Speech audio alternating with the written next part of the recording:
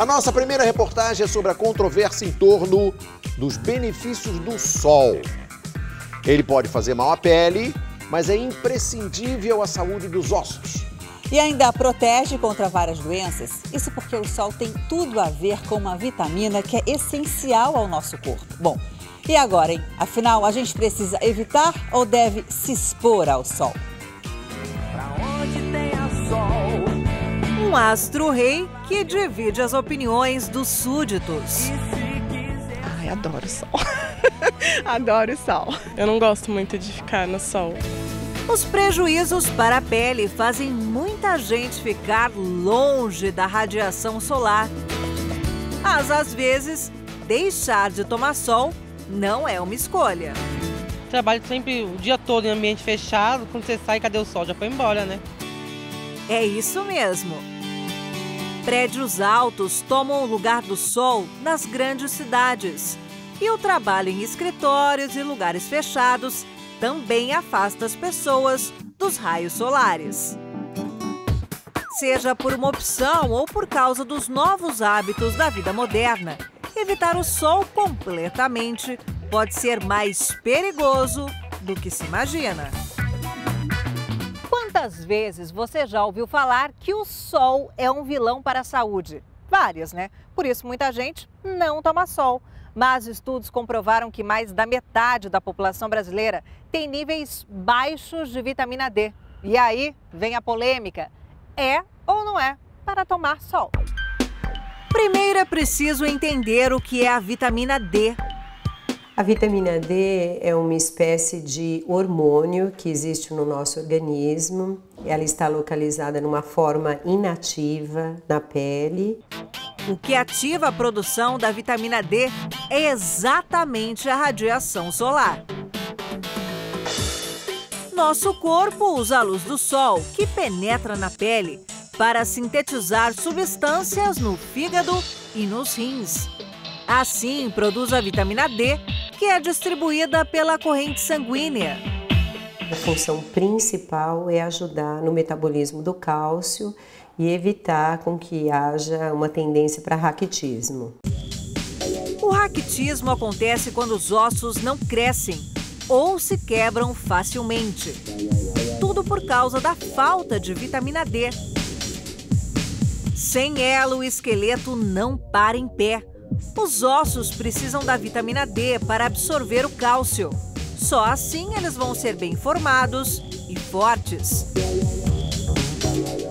E a novidade é que inúmeros estudos têm mostrado que a importância da vitamina D vai muito além do bem que ela faz aos ossos.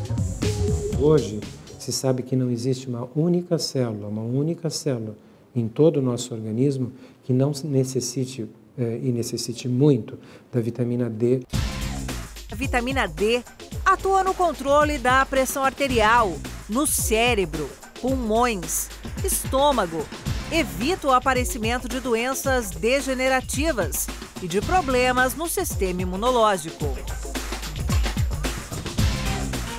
Um estudo recente mostrou que durante a estação mais fria do ano, a falta de vitamina D tende a aumentar por aqui. 77,4% dos paulistanos apresentaram deficiência dela no inverno. No verão, o número foi menor, 37,3.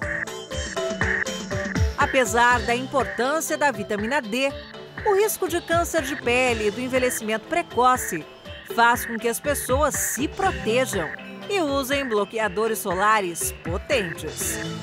Realmente eu não gosto de tomar sol, eu sempre tenho uma preocupação com a pele. Eu prefiro mais proteger minha pele do que é, absorver a, a vitamina D. O cantor Rodrigo Sá gosta tanto do sol que fez até uma música para homenageá-lo.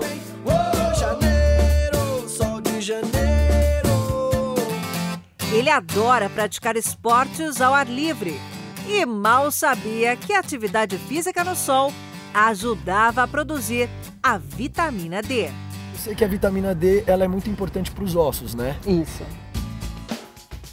A exposição ao sol é a forma mais fácil de garantir a produção de vitamina D no organismo. Mas será possível buscar a vitamina D também nos alimentos? Ovos e peixes como salmão, sardinha e atum são fontes de vitamina D. Mas a quantidade dela nos alimentos é pequena e a parceria, às vezes, não funciona. Nem sempre o sol diário e os cuidados com a alimentação são suficientes. Há casos em que é preciso reforçar a dosagem de vitamina D para garantir a qualidade de vida. A farmacêutica Renata Calil teve que começar a tomar suplementos de vitamina D. Eles podem ser consumidos na forma de comprimidos ou em gotas. A deficiência apareceu em um exame de sangue específico e simples de ser feito. Ela passou a reforçar a dosagem diária. Então hoje eu tenho que tomar um suplemento onde eu tenho vitamina D e outras coisas mais, né, que foi formulado para mim e tomar sol. Renata não abre mão do sol. Trabalha o dia todo, mas sempre encontra um jeito de se expor à luz do dia. Na hora do almoço, eu procuro andar no sol. Se eu for na padaria no final de semana, eu ando pelo sol. Se eu for sair com a minha cachorra no final de semana, eu saio pelo lado do sol. A dermatologista explica que o sol tomado entre as 11 da manhã e 2 da tarde é o mais eficiente para ativar a vitamina D por causa do tipo de radiação mas também é o mais perigoso para a pele. Muitas pessoas às vezes são orientadas a tomar sol de manhãzinha, mas esse sol de manhãzinha muito cedo não é o sol apropriado para o estímulo da vitamina D. E justamente o sol que é necessário para estimular a vitamina D é um sol que está mais associado ao câncer de pele. Será que usar o protetor solar ajuda ou atrapalha? Você praticamente zera a produção de vitamina D se você usar filtro solar. Isso significa que você tem que banir o filtro solar? Não. Mas o tempo de sol diário, sem o uso de protetor, deve ser o mínimo possível. Pequenas quantidades de 10 a 15 minutos numa área do corpo uh, onde você não tivesse passado filtro solar seria suficiente. Renata aprendeu como aproveitar o máximo de sol no pouco tempo que tem. O fato da gente andar com os braços de fora, é, um pouco da perna de fora, também facilita a absorção dessa, dessa radiação solar para ativar a vitamina. Ao sol me passa força, energia, calor, vontade de fazer as coisas, uma boa disposição. Rodrigo diz é que aos assim 33 anos está com a saúde ótima. Chegou. Eu busco o sol para melhorar a minha disposição. Eu acho que quando eu tomo sol, quando você vai para a praia, né, você melhora a exposição, a disposição física. Para ele, tomar sol de forma adequada, sem exageros, garante uma ótima qualidade de vida.